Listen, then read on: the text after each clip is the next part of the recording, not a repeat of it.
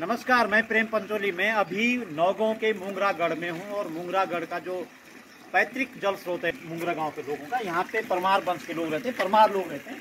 मैं उस पैतृक जल स्रोत पे जाता हूँ। ये पानी का जल स्रोत आज का नहीं है।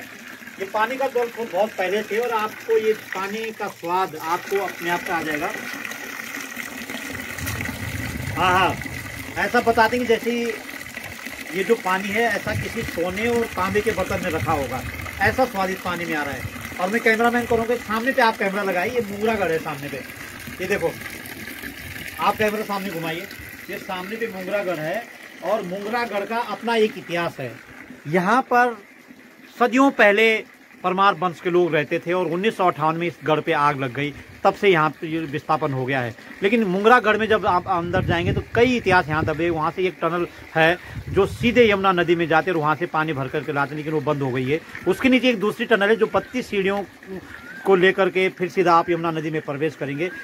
तो इस गढ़ का अपना इतिहास है और सामने पे बह रही यमुना नदी का दृश्य आप देख सकते हैं। यहाँ पर यू टर्न है यमुना नदी। और यू टर्न के सामने पे जो ये टीला दिखाई दे रहा है, ये मुंगरा गढ़ है।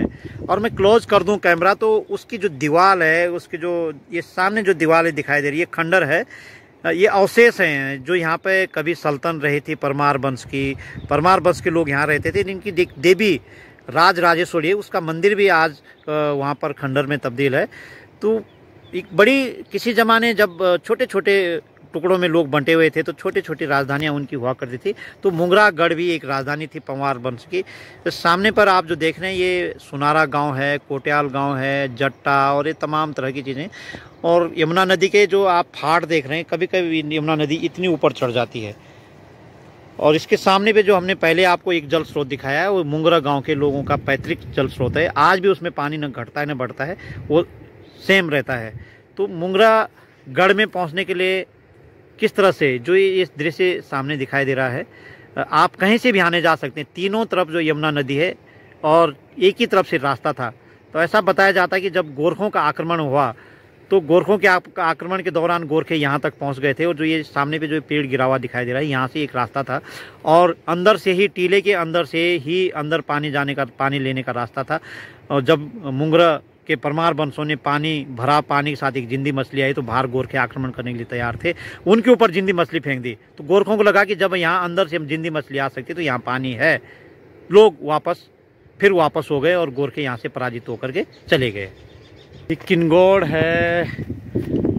ये जो तमाम तरह की वनस्पतियाँ दिखाई दे रही है आपको अलग अलग तरह की वनस्पतियाँ हैं। सामने पे ये मोलू का पेड़ है, एकदम झकाश और इधर टिमरू बहुत ज़्यादा है।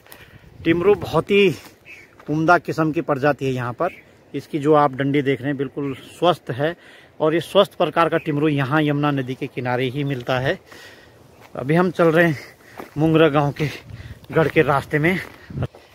ये बड़ी औषधि है, इसको लोग निकाल करके अपने चेहरे पे लगाते हैं। एलोवेरा। तो एलोवेरा यहाँ नेचुरली है। ये एलोवेरा के पेड़ एक नहीं है। कई है। पूरा एलोवेरा का जंगल यहाँ पर हमारे सामने है। ये देखो, ये नेचुरल है एलोवेरा। किसने लगाया नहीं?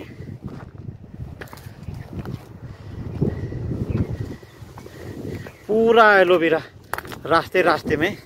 तो जब चाहो तब आप एलोवेरा को ले सकते हैं। और बहुत ही महत्वपूर्ण औषधि है एलोवेरा। जिसकी आज अंतर्राष्ट्रीय मार्केट में बड़ी डिमांड है।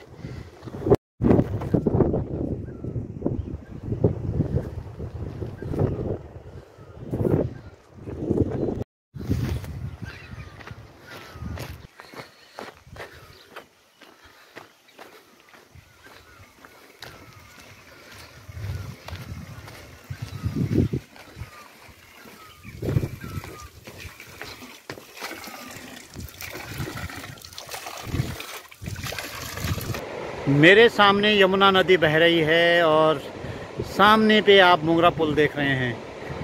ये मुंगरा पुल यमुना नदी पर है। मुंगरा गढ़ के नीचे बना हुआ है। किसी ज़माने में ये यमुना नदी के पार वाले क्षेत्र को हिमाचल में मिलाने की तैयारी चल रही थी। आज़ादी के बाद के पहले मुख्यमंत्री गोविंद बल्लभ पंत ने कहा कि नहीं, यह क्षेत्र उत्तराखंड हिमालय का ही रहेगा, यूपी का हिस्सा रहेगा। तब यूपी का हिस्सा हुआ करता था। ये पुल भी अपने आप में ऐतिहासिक है। स्टोरेज काफ़ी है आपके फ़ोन के साथ। ग्रेजुएशन कर रही है। आपकी। हाँ ग्रेजुएशन कर रही है। अरे वाह आज तो धीरज परमार की बेटी अपेक्षा परमार। है? कौन सी क्लास में बेटा? फिफ्थ में अपेक्षा परमार। अपेक्षा परमार दूरदर्शन देखती है और कहती कि प्रेम पंचोली अंकल देखो वहाँ सीढ़े बना रहा किसने बनाए थे सीढ़े? किसने बनाए हैं? सुनीता हाँ तो ये दूरदर्शन देखती है। तो चलो बेटा स्कूल में क्या क्या पढ़ाते हैं? मोगरा गाँव के परमार लोग तो बहुत एडवांस है। कौन है? कौन से स्कूल में पढ़ती है? सरस्वती शिशु मंदिर में। सरस्वती शिशु मंदिर में क्या बात है।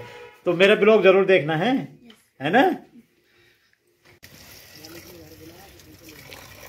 ऐसे पानी के धारे जब आप पहाड़ में आएँगे तो जगह जगह मिलेंगे। आपको पानी पीने के लिए स्वच्छंद रूप से पानी पीने के लिए मिलेगा। पाँव धुलने के लिए हाथ धुलने के लिए मुँह धुलने के लिए। तो आप देखिए जगह जगह पानी के धारे मिलते हैं, लेकिन इन पानी की सुरक्षा और पानी के संरक्षण के लिए अब तक कोई खास काम नहीं हुआ है। ये बहता पानी है और कई बार ये खराब भी हो जाता है। जैसे क्लाउड ब्रस्ट हो गया तो पानी अपनी, अपना रास्ता बदल देता है, दूसरी तरफ़ चला जाता है। तो आप पहाड़ में आइए और पानी के जो जल स्रोत है नेचुरल रिसोर्स है, उसकी मज़ा लीजिए।